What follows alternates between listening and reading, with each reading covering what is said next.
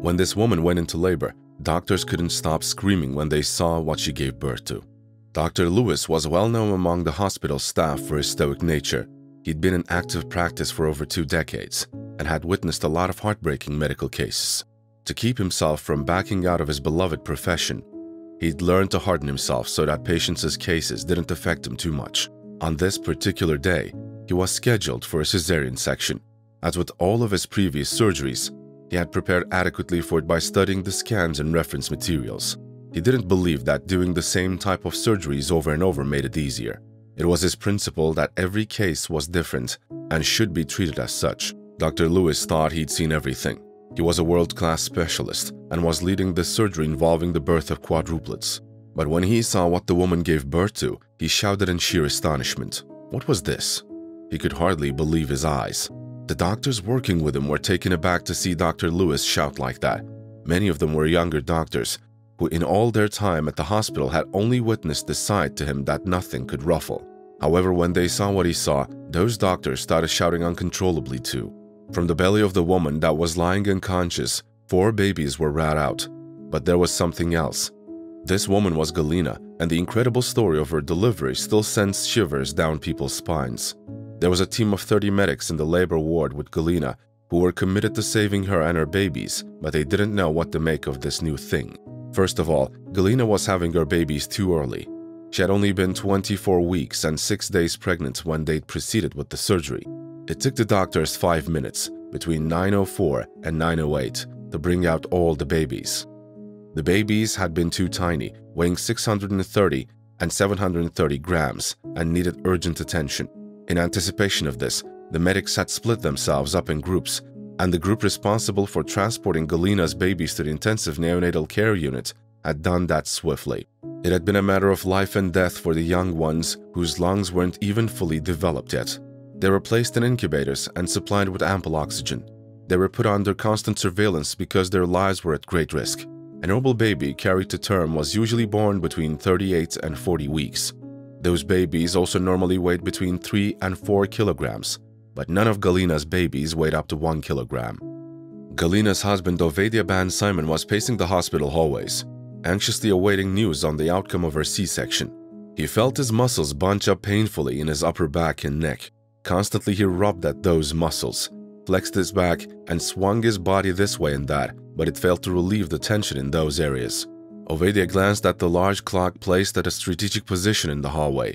He noted that the surgery was supposed to have ended over 30 minutes ago, but all this time had already passed by, and not one doctor had come out to meet him.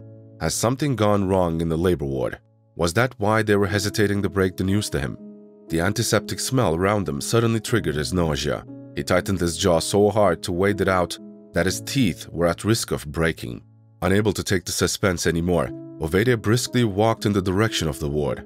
He had no idea what he'd do when he got to the doctor or if they would even let him in, but he had to try. Coincidentally, as Ovadia reached for the doorknob leading into the ward, it swung open before he even had a chance to touch it. Dr. Louis, who was clothed in scrubs and a hairnet, came out. He was surprised to see Ovadia standing in front of him. No sooner had their eyes met that Ovadia started shooting multiple questions at the doctor. He wanted to know everything especially when his wife was waking up and how his children were doing. Fully understanding Ovadia's predicament as a father himself, Dr. Louis smiled at him kindly.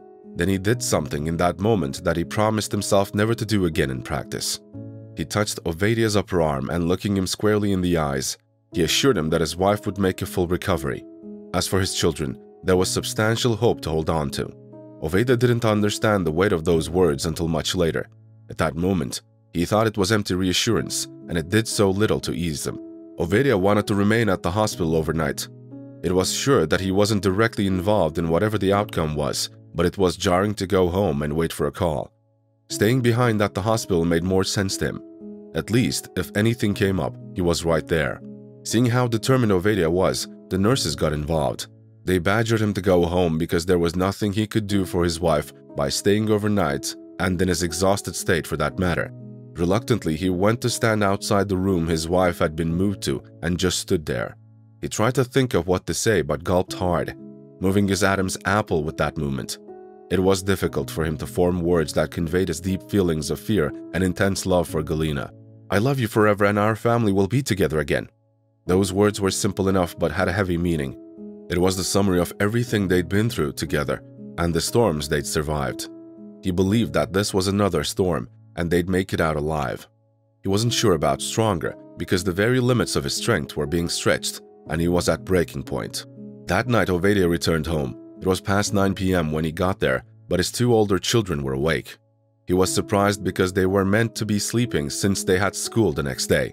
His mother was watching them, so he looked to her for an explanation. She shrugged and asked him to talk to his children. They wanted to know about their mother and new siblings. Were they all right? Did he see them? When would they come home? They couldn't sleep because they'd been wondering, and their grandma wouldn't say anything either. Ovadia recognized the children's nervousness because it mirrored his own. Knowing he needed to give them some assurance, but not trusting himself to come up with convincing words, he borrowed Dr. Louis's words. He placed a hand on each of their shoulders, made eye contact, and in his warmest tone, he said, Your mom will make a full recovery, and there's plenty of hope that your siblings will be fine. Fortunately, his children believed him. He kissed them goodnight and tucked them into their beds.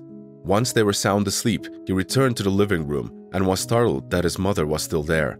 She suspected that something was afoot and coaxed the truth from him. Ovadia didn't know he was suppressing a lot of his emotions until his mother lovingly told him that he'd done his best and Galina didn't hold anything against him. His shoulders quaked as he sobbed on his mother's shoulders. He felt like a little boy again and hadn't felt that way in decades. The situation with his wife was tearing him up and bringing to surface all his insecurities. He didn't want to think of anything going wrong with Galina because if it did, he would never forgive himself. Alone in her hospital room, Galina stirred in her sleep but didn't wake up. He moved her head this way and that until she found a comfortable position and she relaxed. In her dream, she was walking through a beautiful golden field. Beside her was Ovadia, and they were holding hands. They looked so young, free, and happy. She couldn't recall the last time they'd been that way. As a young girl, Galina had witnessed her parents' falling out. Her father had been cheating on her mother with a secretary, and her poor mother had been hurting a lot. The woman had been diagnosed with bipolar disorder a few years ago, but the situation with her husband had escalated her illness. She had built her life around her husband, giving up on her dreams to become an actress, to make a home together and raise children. Her husband had eventually divorced her. The cheating the subsequent divorce and the bipolar disorder had knocked the winds out of her. She had lost the will to get out of bed daily and pretend to live for something. Several times, Galina had come to her crying and begging her to get up, but she would look at her sadly and remain there. Galina had learned early to look out for herself because no one was coming to save her. Her father hadn't bothered sending money for upkeep, and her mother was so sick she couldn't work. Galina had gone hungry on many days. Their home had gone without electricity, water and gas sometimes, and she had struggled at school. She had barely graduated from high school. Then she attended community college. But while there, she had learned that happiness was connected to purpose. Galina had interrupted her purpose to be making plenty of money, so that both she and the people she loved would never go without. Galina and Ovadia's paths had crossed when she was in her late 20s. Galina had bought an apartment in the same building that Ovadia and his mother lived in. The mother-son duo had been friendly to her from the start, but Galina had been closer to Ovadia's mother. She was at a stage in her life where she had accepted to be without a significant other. Her relationship life had been failure after failure, although she'd succeeded at making hundreds of thousands of dollars annually. But Ovadia's mother had brought Galina and Ovadia together, and they had easily gone from being friends to dating and then to marriage. However, their relationship had experienced terrible friction because of their different personalities and beliefs. Galina was the type of woman who was razor sharp and focused on her goals unlike Ovadia, who lay out goals but didn't necessarily put himself under pressure to achieve all of them.